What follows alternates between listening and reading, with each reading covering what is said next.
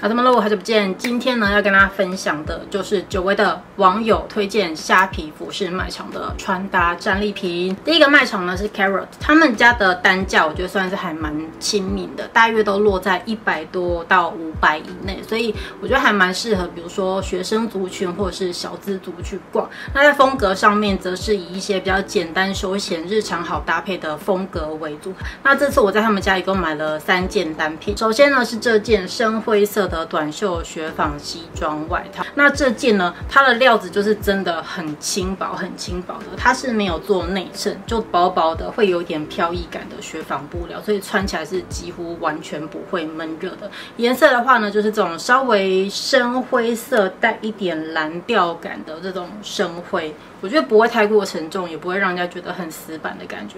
再加上它的长度是属于比较偏中短版，不会短到露你的上腹。就算是小个子的女生，我觉得搭短裤还是搭短裙也都还蛮可爱的。整个版型我觉得算是中规中矩吧，是还蛮好搭配。在他们家最后一件单品是这个比较偏中性暖灰色调的雪纺喇叭西装裤。翻到背面来呢，几乎整个后腰都是做松紧带的设计，所以它。它在腰围上面还蛮友善的，这款呢，它的版型就是喇叭感还蛮明显的，而且整个布料一样是那种雪纺比较轻飘的效果，内里的部分呢是没有的，所以它就是单一层雪纺西装布料，走起路来的那种飘逸感。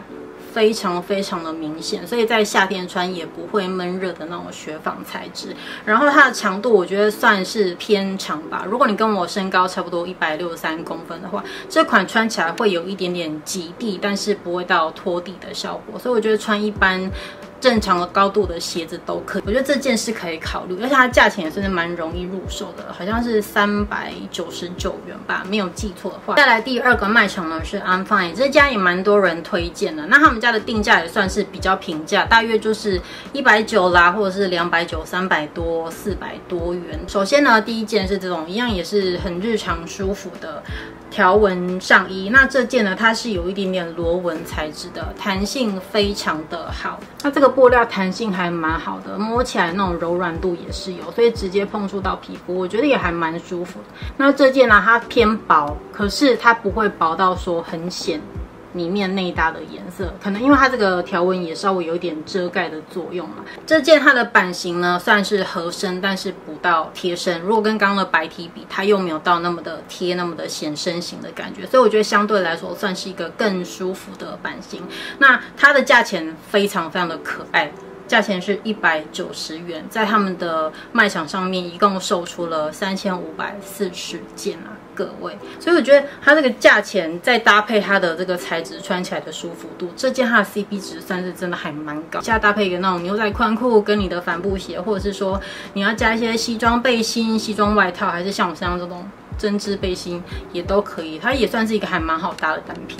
再来就是我现在穿在身上这件黑色的针织背心，我把它跟刚的条纹 T 搭配在一起。那这件针织背心呢，它是稍微有一点点微微宽松，但是不到很宽的版型，长度也是偏适中的，所以我觉得也还蛮适合去做一些夏天穿搭的搭配。那像那种春夏的针织背心，它的厚度一定不会像秋冬的那么厚或是那么密，它通常在针织的部分洞洞。没有洞洞都会比较大一点，然后整个料子再更轻盈一些，所以就算你多搭了一件在你的 T 恤外面，它也不会说让你觉得太有负担。它的价钱呢是三百三十五元，在卖场上一共售出了一千九百九十八件，差两件就破两千件了，所以热销程度是真的还蛮好的。它这个价钱来讲，这个版型算是真的还蛮不错的。再来就是夏天大家都会收集的那种牛仔短裤，但是这件它的颜色还蛮特别，是这种有点喜旧感的浅。灰色，它的价位呢是三百九十元，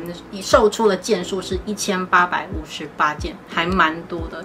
因为它这个颜色，我觉得就是你夏天穿可以，春天穿可以。那如果说你秋冬不怕冷的话，其实你去搭配一些靴子，这个颜色也都是可以驾驭得住的。所以它的颜色并不会说有。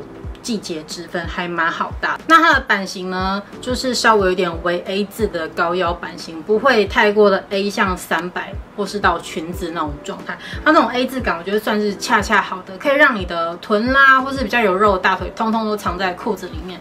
然后长度呢，大约会让。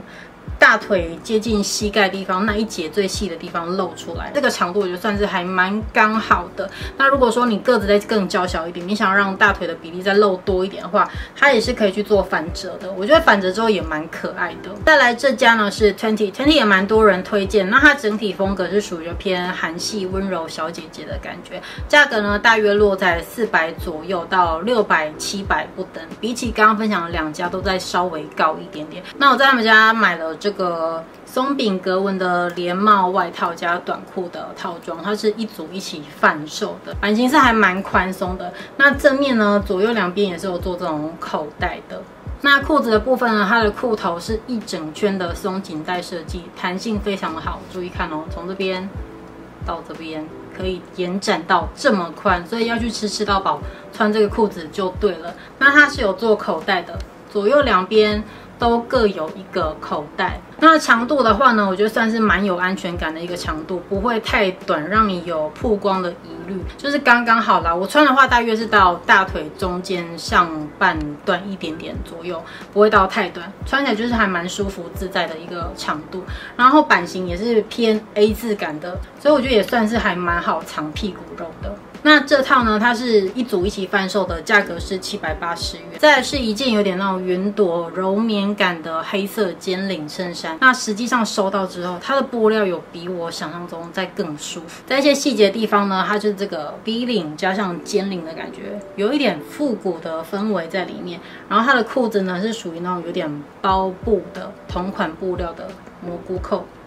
像这样子的效果，所以整体风格是比较复古，在胸前两边也是有做一个细细的两条折线的设计的，肩膀这边呢有做一点微微的蓬袖的效果，所以这件呢它的整个设计来说是属于比较偏。复古小女生氛围的一件衬衫，那这件啊，它的版型就是偏适中，不会太过的宽松，也不是偏合身那种版型，所以我觉得一般身形来说，应该都算是蛮好驾驭的一个版型。在第四家也是蛮多人推荐的 Olly，他们家的风格也是属于比较甜美韩系姐姐的风格。那价格的话呢，比起前面分享几家都在稍微高一点点。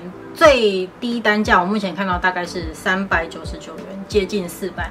那在网上更高的话，七八百都有，所以我觉得算是比较偏中价位的卖场。那首先呢是这件奶油黄色的西装外套，就是春夏的颜色。这件它的版型就是偏宽松。如果你是个子很娇小的女生，把它当做下衣式中的风格来穿，它的长度我觉得是可以这样做搭配的。这款呢，我自己很喜欢的地方就是它的口袋设计，因为一般的口袋可能会做一个一字，或者是有一个。翻盖这样子，但是呢，它是做这样。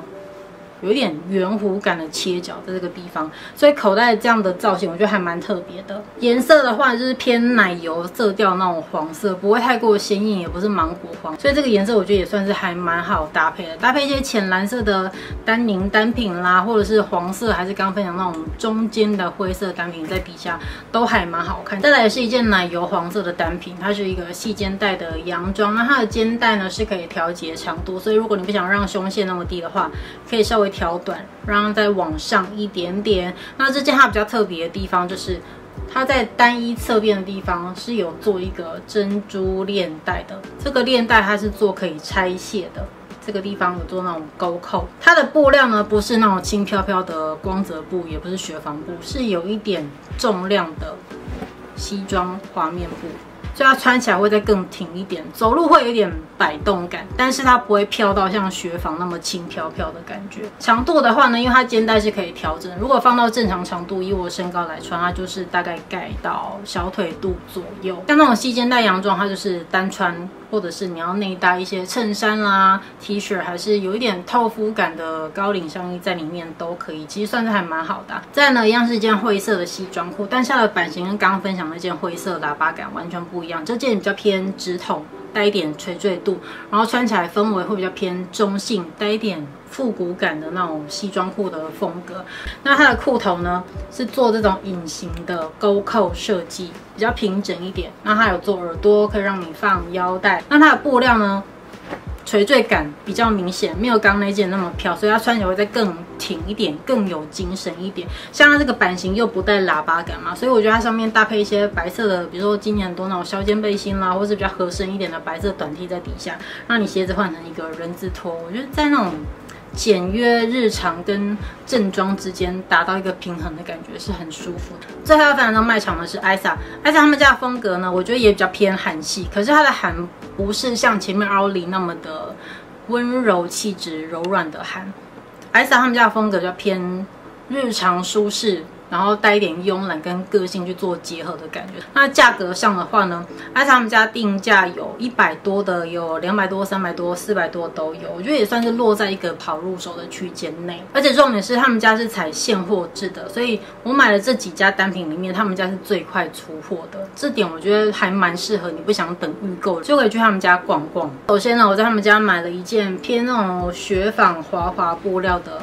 洋装，方领宽肩带的洋装，它的。特色在于它翻到背面来有做一个绑带跟大露背的设计，它的背挖的还蛮低的，而且我发现它的布料真的很薄透吗？所以虽然说它是黑色的，可是我觉得它在这个天气来穿是完全不会闷热，它直接碰触到皮肤也是那种很柔滑舒服的触感。再来这款西装外套呢，卖场上说它是小织女的西装外套，我觉得真的是跟刚刚那件洋装很像，都是适合小织女的。我觉得它稍微有一点厚挺度。